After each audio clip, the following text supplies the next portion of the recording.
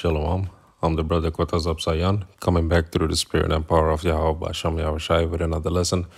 But before I go on, I want to say Kal Halal Yamla, Yahweh, Basham, Yahushai, Basham Rakakodash. Double honors to the elders and apostles of Great Millstone for teaching us this truth and who rule well.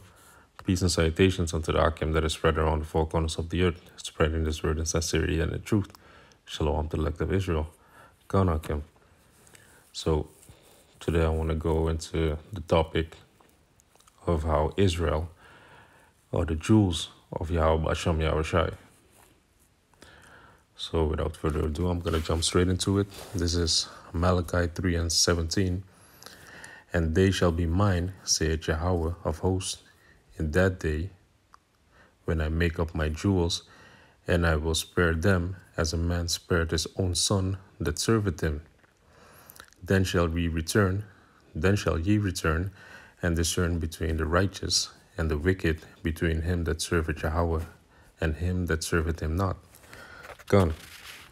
So it says, In that day, Shalakia, and they shall be mine, saith Yahweh of hosts, in that day when I make up my jewels. Gone. What day? It's speaking about the latter days. It's speaking about the times we're living in right now. Let's go to Amos 9 and 11. This Amos 9 and 11. In that day will I raise up the tabernacle of David that is fallen and close up the breaches thereof, and I will raise up his ruins, and I will build it as in the days of old. You see? So that's happening right now. He said in the time of Malachi, that was a prophecy that was going to happen right now in these latter times, you understand? So the tabernacle of David is being built up, you know. We are being built up as of old. You know, the southern kingdom has been woken up first under the uh, under the the Judites first, you know. Judah was going to be raised up first and then Ephraim and then the northern kingdom. And now both uh, two sticks are being joined onto each other. Let me see which scripture was that. Uh, I believe Ezekiel.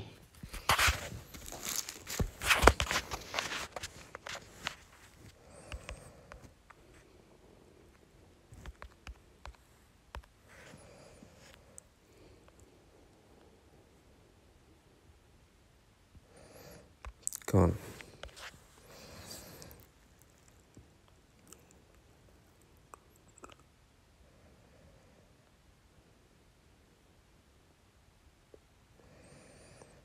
Go, let me read it real quick. This is Ezekiel 37, verse 19. Say unto them, Thus saith Yahweh, Basham Yahushai, Behold, I will take the stick of Joseph, which is in the hand of Ephraim, which is the northern kingdom, and the tribes of Israel, his fellows. This is the complete northern kingdom because Ephraim is the head tribe of the northern kingdom, and will put them with even Salaki, and will put them with him, even with the stick of Judah, and make them one stick, and they shall be one in mine hand. And the sticks whereon thou writest shall be in thine hand before their eyes. Gone. And the two the sticks, what it's speaking about is a is a plank, you know. It goes into wood. A stick is made out of wood. So we were supposed to make that uh, 12 tribes chart you know, where you see all the 12 tribes of Israel and that they're being joined, that they're joined together. And it should be before their eyes. We should have it in the camp. To prove that, let me just go into the word sticks, which is Aitaza, which says blank. You see, that's the 12 tribes chart. Let's see if I could uh, Google that.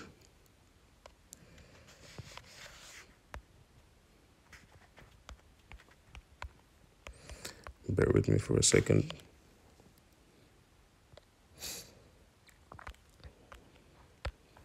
Gone. They're speaking about this chart. You see, the 12 tribes of Israel, Judah, meaning the so called Negroes, Benjamin, so called West Indies, Levite, the so called Haitians, Simeon, so called Dominicans, Zebulon, Guatemalans to Panamanians, Ephraim, Puerto Ricans, Manasseh, Cubans, Gad, North American Indians, Reuben, Seminole Indians, um, Naphtali, the Argentinian to Chileans, Asher, Colombians to Uruguayans, Issachar, meaning the so called Mexicans. Gone. So to go back to Malachi 3, verse 17. And they shall be mine, saith Jehovah of hosts, in that day when I make up my jewels, and I will spare them as a man spared his own son that serveth him. God, so he's gonna spare them, he's gonna save them from the afflictions.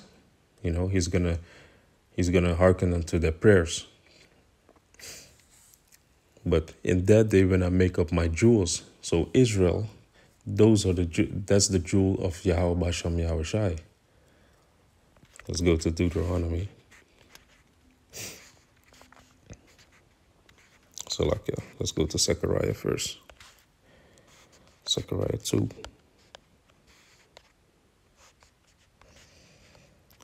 Verse 7 and 8. Deliver thyself, O Zion, that dwellest with the daughter of Babylon. For thus saith Jehovah of hosts, after the glory hath he sent me unto the nations which spoil you, for he that touches you touches the apple of his eye. Gone. You know? He that touches Zion, Zion means monument. We're the monument of, of Yahweh Shem Yahushai here upon this earth. You know, so he that touches you touches the apple of Yahweh Shem Yahushai's eye. So we are the favorite. We are the only nation that he dealt with, you know, and that he's dealing with. So the people that spoil us, that rob us, that put us through captivity and put that yoke upon us, those are going to be touched also because they touch the apple of Yahweh Yahushai's eye. And they're speaking about the Edomites. You know, that's the last captivity we're going, that, that we're in. And we are to destroy them, you know. They're to be enslaved for a thousand years, and after that, they're to be eradicated. You know, but you got to believe that Yet he that touches Israel touches the apple of Yahweh Yahushai's eye, his jewels. Let's go into that word, jewels. Go into Deuteronomy 14, verse 2. It's Deuteronomy 14, verse 2. For thou art a holy people unto Yahweh thy power, and Yahweh had chosen thee to be a peculiar people unto himself above all the nations that are upon the earth gone. And to what it says, thou art an holy people, means you have been set apart from the rest of the nations. You know, he has only dealt with us, as uh, Psalms 147 says, that he hasn't dealt with, he hadn't dealt so with any other nation. He gave us the statutes and the commandments. So we are set apart due to the commandments. We we keep these laws. We don't eat bat. We don't eat pork. We shouldn't you know, do certain things. So that's how we are being set apart. And the Lord had chosen thee to be a peculiar people unto himself. Let's go into the word peculiar.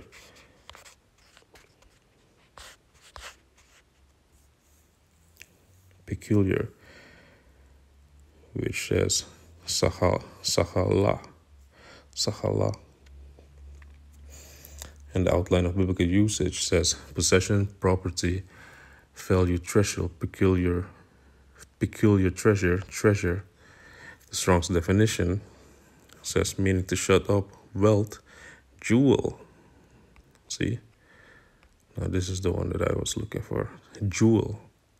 Peculiar treasure, proper good, special. We are the jewels of Yahweh Basham Yahweh Shai. Let's go to the next scripture, Deuteronomy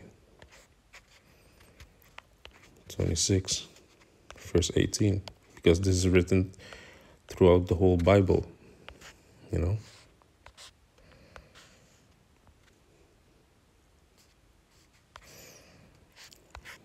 Let me just start at 17. This is Deuteronomy 26 and 17.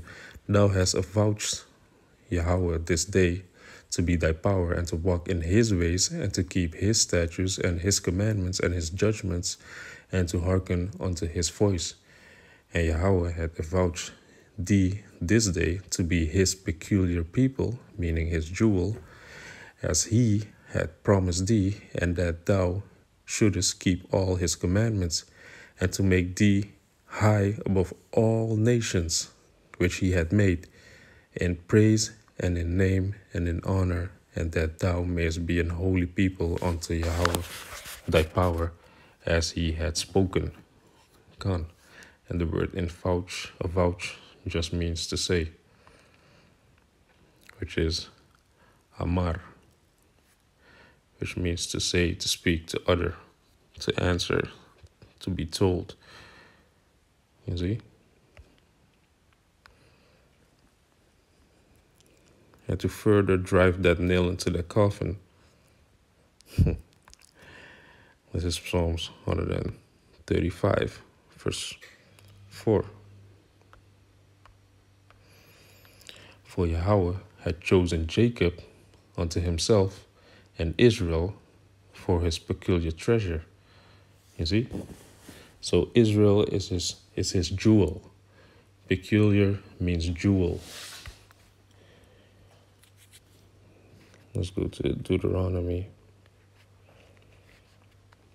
7 and 6. Because all throughout the Bible, you're going to read that we are a holy people, we are the jewel, we are peculiar people, we are a special people. You know, this is Deuteronomy 7, verse 6. For thou art an holy people unto Yahweh thy power. The Lord, Yahweh, thy power, hath chosen thee to be a special people unto himself above all people that are upon the face of the earth. God. So we, the Jews of Yahweh Bashem Yahushai, we ought to listen to Yahweh Bashem Yahushai, to his commandments, because we we are the ones that have been given the commandments. These other nations haven't been given the commandments, so they can do what the hell they want because they, they are the heathens.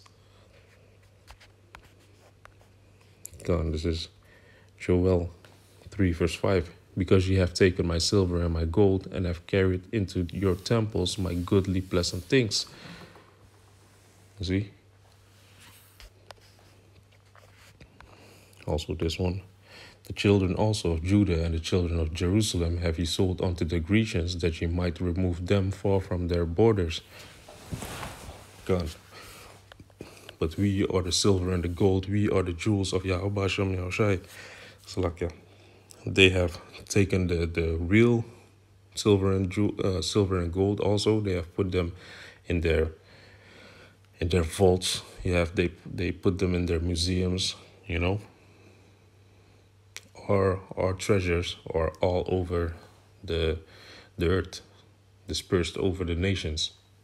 You know, they have carried away the silver and gold of our nation, but most importantly, they have taken the silver and gold of Yahweh Hashem Yahushai, the gold, which represents us, represents the man. You understand? The jewels of Yahweh Hashem Yahushai. To prove that, Let's go into Zechariah 13, verse 9. In Zechariah 13, verse 9, and I will bring the third part through the fire and refine them as silver is refined, and will try them as gold is tried. They shall call on my name, and I will hear them. I will say, It is my people, and they shall say, Yahweh is my power. You see? So one third of Israel is going to be saved through these afflictions that we are going through. You know, we are being made perfect. Be perfect as Yahweh Basham Yahushai is perfect. You know, and how are you being made perfect? Through these afflictions, through adversity. Be ye perfect. I believe that's Matthew 5.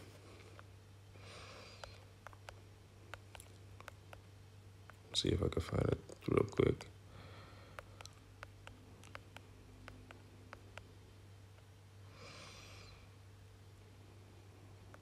Gone.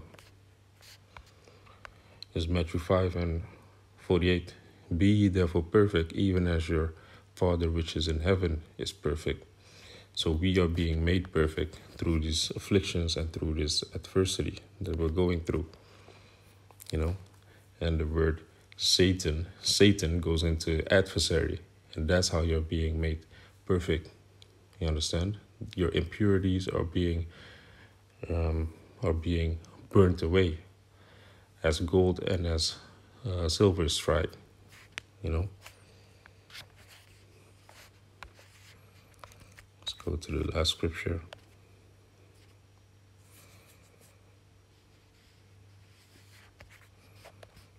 Which is in Sirach 2.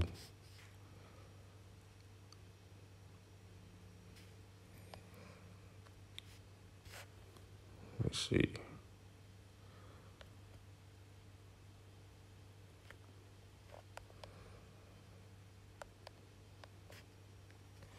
Slovakia.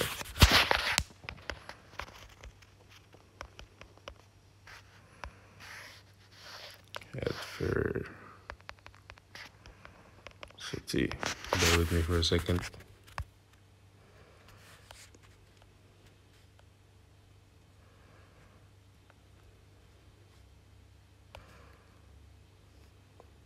Gone.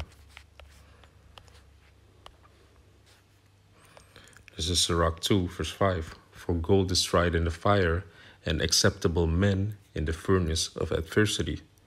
You see? So we are the gold of Yahweh, Basham Yahushai. We are the, are the silver and gold. We are the jewels. We are the we are the peculiar treasure. We are a special and holy people unto him. And acceptable men. Yeah, for gold is tried in the fire, and acceptable men in the furnace of adversity. And how do you go through adversity?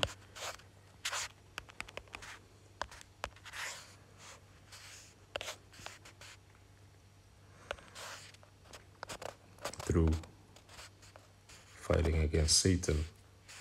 You know, Satan is like when you're in a ring, you're a boxer, and you you have the you're in the red corner and Satan is in the blue corner. You see? So he's your adversary. Uh, he's your adversary, Salakia. He's your adversary, so he's gonna make you tougher. He's gonna make you stronger. He's he's your sparring partner in the truth. You know, Shatan.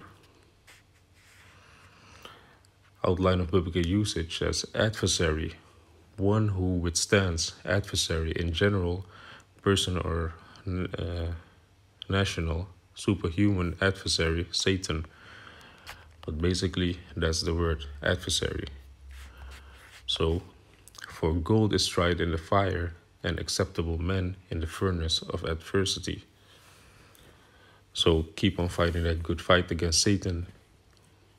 And Yaratazah will get up out of here soon, man. So, I hope this video is edifying. And I want to say, Kal Halal Yahweh, Basham, Yahushai, Basham Rekakodash, Shalom Akim.